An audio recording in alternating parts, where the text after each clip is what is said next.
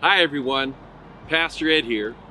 This past Sunday, as we were all getting ready for our 9 a.m. in-person service, I saw someone parking in one of the spots in the second row on New Day's parking lot here. I was on the patio, so I waved even though I couldn't quite make out who it was. And then I decided to walk over to chat with whoever it might be. It turned out to be Scott Lee. And then his wife, Deborah, drove up in her vehicle.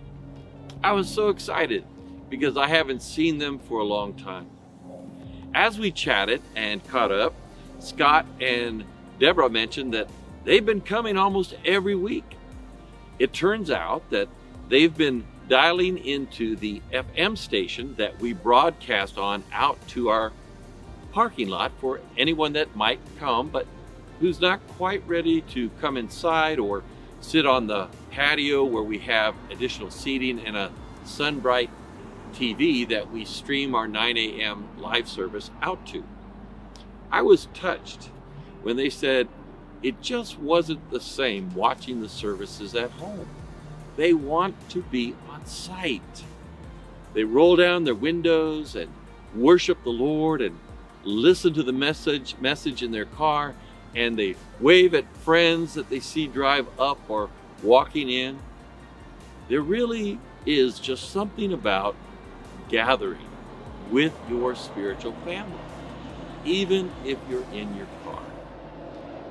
I've seen others over the past few weeks who start in their car or on the patio, but then as their comfort level increases, come inside.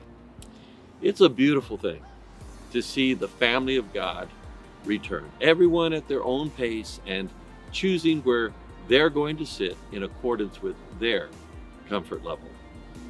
Every week, I see faces I haven't seen for a long time, and my heart wells up with joy. My heart also wells up with joy as I see first time guests walking through our doors.